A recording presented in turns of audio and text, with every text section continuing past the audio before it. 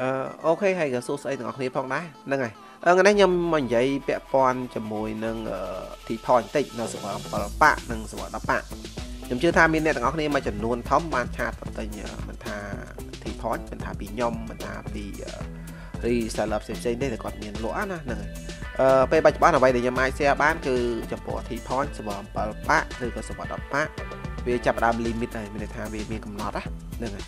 មានកំណត់ដោយសារហេតុអី ដោយសារពេលបច្ចុប្បន្នសម្រាប់7ប៉ាក់និងសម្រាប់10ប៉ាក់ហ្នឹងគឺគេចាប់ផ្ដើមបិទនៅភ្នាក់ងារក្នុងការលក់ T point ហ្នឹងហើយហើយយើងមិនទាន់ដឹងថាខាងក្រោយវានឹងមានរឿងអីខ្លះទេប៉ុន្តែអ្នកដែលគាត់មានលក់ពេលបច្ចុប្បន្នណាហ្នឹងហើយគឺគាត់សល់ T point មានសល់ក្នុង stock គាត់តែគាត់ទិញទុកណានឹងខ្ញុំលក់បន្តគឺគាត់នៅសល់ stock ខ្ញុំជឿថាប្រហែលជាមួយថ្ងៃឬក៏2ថ្ងៃទៀតដាច់ stock អស់ហើយអញ្ចឹងបន្ទាប់ពីដាច់ stock អស់ហើយ T point សម្រាប់ reseller គឺអត់មានលក់ទៀតទេ ហ្នឹងហើយអត់មានលក់ទៀតទេហើយព័ត៌មានមួយទៀតខ្ញុំជឿថាអ្នកនរគ្នាបានដឹងហើយគឺមាន reseller ខ្លះគាត់បានធ្វើការផុសថាអូខេគេបិទប្រហែលជាមួយអាទិត្យទៅពីអាទិត្យប៉ុន្តែកំឡុងពេលមួយអាទិត្យទៅពីអាទិត្យនេះមិនប្រកាសថាគេបើកឲ្យ reseller លក់វិញទេណានឹងមិនប្រកាសថាបើក reseller លក់វិញទេដោយសារហេតុអីដោយសារ reseller លក់គឺដេញថ្លៃខុសពីតម្លៃទីផ្សារខាងវៀតណាមមានឆ្ងាយនិងខាងវៀតណាមមានឆ្ងាយ ហើយនេះសារហេតុអីដោយសារគ្នាយើងទេមួយចំនួនតែគាត់ប្រូស៊ីដេញជើងទៅចុះឡើងចុះឡើងណាហ្នឹងហើយវាធ្វើឲ្យតម្លៃ T point លក់ទៀបជាងតម្លៃ T point នៅខាងវៀតណាមអញ្ចឹងមែនទេដល់សម័យតែវៀតណាមក៏មកទិញ T point ពីខ្មែរដែរហើយសួរ T point នឹងសុវត្ថិភាពអត់ T point នឹងសុវត្ថិភាពប៉ុន្តែហេតុអីក៏ថោកជាងដោយសារវា convert ពីអឺ convert ពីលុយដុល្លារនឹងទៅវៀតណាមអញ្ចឹងវារៀងចំណេញដល់ពេលអញ្ចឹងទៅវាធ្វើឲ្យ T point នៅខាងខ្មែរយើងលក់រៀងធូរថ្លៃជាងអញ្ចឹងណាហ្នឹង ហើយចំពោះ T point នៅពេលដែលគេបិទអ្នកទាំងអស់នឹងសួរថាចំហើយចុះបើសម្ប7ប៉ាក់សម្ប10ប៉ាក់បិទ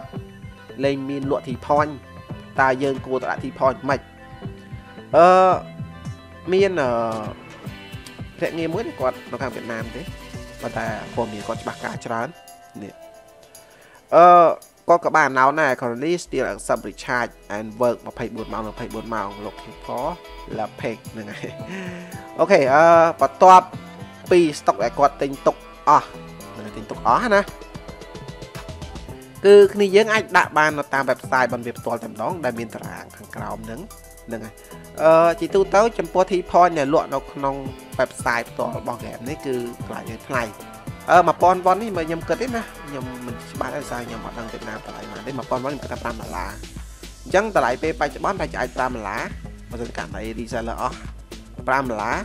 វាស្មើនឹង950 P point ទេមិនមែន5ដុល្លារស្មើនឹង1310ដូចពេលបច្ចុប្បន្នទេអញ្ចឹងដូច stock ខ្ញុំអញ្ចឹងពេលបច្ចុប្បន្ននៅសម្រាប់7ប៉ាក់អស់ហើយសល់សម្រាប់10ប៉ាក់នៅសល់ខ្លះចេញខ្ញុំគិតថាប្រហែលជាស្អែកអីហ្នឹងគឺខាងស្អែកហ្នឹងប្រហែលជាអស់ stock ដូចគ្នាដោយសារ stock ទិញទុកហ្នឹងហើយ អញ្ចឹងដល់ពេលដែលយើងដាក់សារសារក្រោយប្រហែលជាអាចដាក់តាម website អញ្ចឹង website វាមានផលអាក្រក់អីគេមានន័យថាអ្នកដែលគាត់មាន Master Card ទិញរឿងស្រួលអ្នកដែលគាត់អត់មាន Master Card ទេពិបាកទិញអ្នកទិញអត់បាន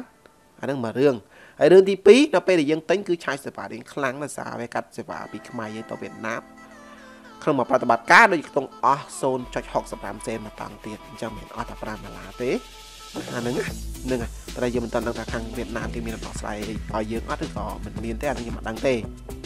ហើយនៅក្នុងនេះគាត់បានណូដែរចំពោះការដែលយើងទិញជាមួយ agency គឺយើងទទួលបាន4%ប៉ុណ្ណឹងអញ្ចឹងដោយសារតែគ្នាយើងហ្នឹងហ្នឹងហើយអាអា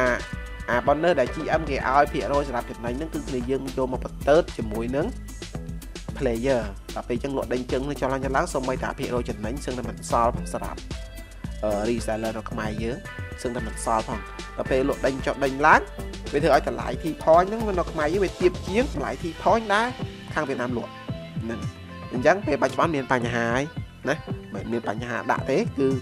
T point ដែលយើងដាក់មិនមែនជា T point ដែលគេ copy ឬគេ cheat អីទេអាហ្នឹងគឺ T point sin ទេតែតម្លៃដែលវាដាក់ទាបជាងដោយសារខាងយើង convert ពីដុល្លារទៅវៀតណាមតម្លៃលុយទៅវៀតណាមហ្នឹងហើយដល់ពេលអញ្ចឹងទៅវាធ្វើឲ្យតម្លៃ T point យើងរៀងធូរថ្លៃជាង អូខេអញ្ចឹងនេះជាអ្វីដែលខ្ញុំអាច share ទៅអ្នកនរគ្នាបានហ្នឹងហើយហើយសូតាហ្គេមនេះលេងស្រួលលេងស្រួលអត់លេងស្រួលប៉ុន្តែគាត់ថាពេលពេលបច្ចុប្បន្នបើអត់ T point ទេរៀងពិបាកតិចណាអញ្ចឹងស្របពេលដែល T point ពិបាកដាក់ហើយ GM ធ្វើការបិទ T point ចន្លោះពីមួយសប្តាហ៍ពីរសប្តាហ៍តែបញ្ជាក់មួយសារទៀតណាមួយសប្តាហ៍ទៅពីរសប្តាហ៍មិនប្រកាសថា GM បើកមកវិញទេសម្រាប់ agency ឬក៏ reseller នៅខ្មែរហ្នឹងហើយអញ្ចឹងខ្ញុំអត់ប្រកាសទេអញ្ចឹងអ្វីដែលសំខាន់ជាងគេបន្ទាប់ពីវាមានបញ្ហា T point នេះក៏វាមាន game មួយទៀតចេញមកដែរគឺប្រភេទ JHM Portal game នេះចាំមើលវីដេអូក្រោយខ្ញុំនឹងនិយាយរៀងស៊ីចម្រៅតិចហ្នឹងហើយដោយសារហេតុអីខ្ញុំទទួលបានព័ត៌មានពីវានេះគួរសមពាក់ព័ន្ធទៅនឹង game មួយនេះវាមានប្រភពមកពីណាយើងគួរលេងអត់ណាហ្នឹងហើយប៉ុន្តែអ្វីដែលសំខាន់ជាងគេខ្ញុំគាត់ចង់និយាយក្រោយវីដេអូនេះកន្ទុយវីដេអូបន្តិចឯង អឺអារឿងហ្គេមខ្ញុំមិនខ្វល់ថាវាចេញមកពីវៀតណាមឬក៏ចេញមកពីខ្មែរទេខ្ញុំអត់ខ្វល់ទេអ្វីដែលសំខាន់ជាងគេនៅពេលដែលវាយកហ្គេមមកដាក់នៅខ្មែរខ្ញុំសុំតែម្យ៉ាងឯងបកប្រែទៅជាភាសាអង់គ្លេសឲ្យបាន100%ហ្នឹងហើយអញ្ចឹងវានឹងមាន player លេងហើយហ្នឹងហើយហើយពេលបច្ចុប្បន្ននេះយើងមើលអ្វីដែលគាត់ប្រើនៅក្នុងការបកប្រែណាហ្នឹងហើយបើយើងមើលទៅគឺជា Google Translate ទេ ហ្នឹងហើយអ្នកនរអាចមើលបានណាចំណុចប្រតិកនៃការបង្កើតរូបតួអង្គឃើញទេនៃប្រតិនៃការបង្កើតទៅជាចំណុចចាប់ផ្ដើមនៃជាចំណុចចាប់ផ្ដើមសម្រាប់ដំណើរដល់រំភើបមួយឃើញទេអញ្ចឹងអ្វីដែលវាសេអត្តន័យចេញមកគឺជាលក្ខណៈថា Google Translate ហើយចឹងដូចខ្ញុំបកទៅក្រោយវិញបន្តិច ខ្ញុំមិនមិនមិនខ្វល់រឿងវៀតណាមឬខ្មែរអ្វីដែលខ្ញុំខ្វល់គឺបើសិនជាករណីវៀតណាមបើកមែន server សម្រាប់ server ខ្មែរមែនសុំថាដាក់អង់គ្លេសបាន100%នោះនឹងតែប៉ុណ្ណឹងគឺអេបណា